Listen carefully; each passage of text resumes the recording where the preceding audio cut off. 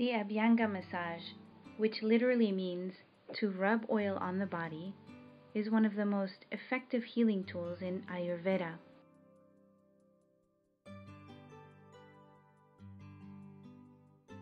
This centuries old therapy is designed to restore balance by activating the subtle energies of the body and the senses.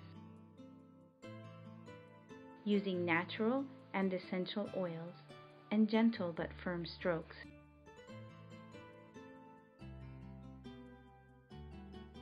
It is both deeply revitalizing and relaxing, while at the same time gently cleansing and detoxifying.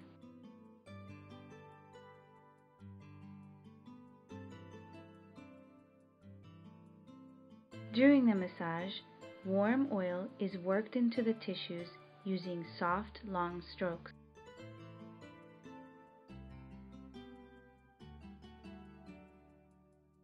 This method provides deep relaxation, thereby releasing physical, mental, and emotional tension, allowing your body, mind, and spirit to heal itself gently and naturally. Ayurveda maintains that oil is to the body as love is to the soul.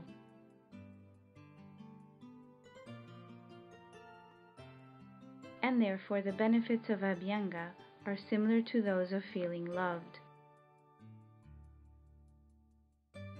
The whole experience calms the mind and leaves you feeling more rested and calm, yet focused and alert.